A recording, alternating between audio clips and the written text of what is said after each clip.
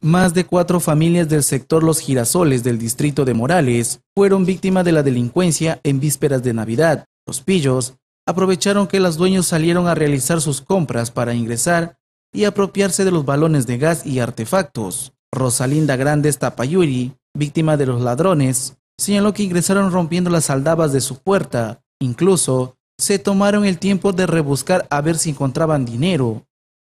Mientras yo me he ido a hacer mis compras para mi almuerzo, hasta mientras no se han logrado robar.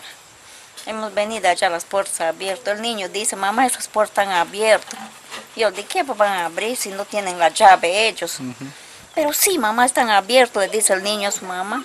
Y venimos de ver las dos partes y la doña viene llorando, ya desde ahí ya nos han robado, ya nos han robado y justamente de ver nos han robado los balones. ¿Usted cuántos balones tenía en su casa? Dos. Uno era vacío y el otro era lleno, lo que estábamos ocupando. Yo todavía en la mañana le digo a mi hija, ya no va a haber gas a mi hija, ya, ya me colorea ahí el gas, la cocina. Sí, mamá, esta semana vamos a comprar, me dice, y así, dicen, me eché de a trabajar. Y ahora pues no sé qué, qué, qué cosa puedo decirle a mi hija cuando viene. Grandes Tapayuri lamentó que la policía en vez de hacer su ronda por los lugares más alejados de la ciudad, prefieren cuidar terrenos denominados Oropesa, a pesar que es privado. ¿Con qué voy a cocinar para comer? Yo quisiera a las autoridades pues que traten de, de ubicar a esos ladrones. O hacer su ronda por acá. Hacer su ronda por acá, que vengan a cuidar, así como están cuidando en Oropés. ¿Qué necesidad tiene el Oropés de que le cuiden?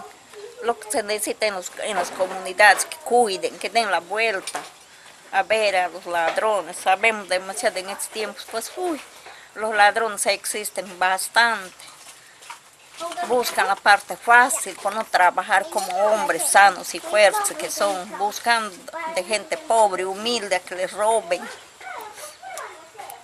Eso deben cuidar es policía, no estar cuidando la loro pesa ahí. Por su parte, Telsi Chamaya, otra vecina víctima del lugar, dijo que dos familias más fueron víctimas de robo. Los delincuentes se llevaron televisores, DVDs e incluso una laptop semanas, pues de viernes dos, dos, semanas ya. ¿Qué es lo que te han llevado? Primera vez me llevan dos pavos detrás de mi casa, pero grandes pues. La segunda vez ya que me han llevado la, la y el televisor, un televisor plano grande. Por acá no rondan los serenos, policía, no, no, nada, nada, eso no. ¿Qué pasa? Nada, acá es. Nosotros duro pedimos seguridad y no, pues hasta cuándo será que nos hagan caso, ¿sí? Ahora su vecina ha sido víctima de robo en todo el día. Ay, sí, mira, vení una semana que están acá y ya le roban ya. Yo pues he estado esa hora ocupada, he estado ahí cerca, mira, pues si no me voy a dar cuenta.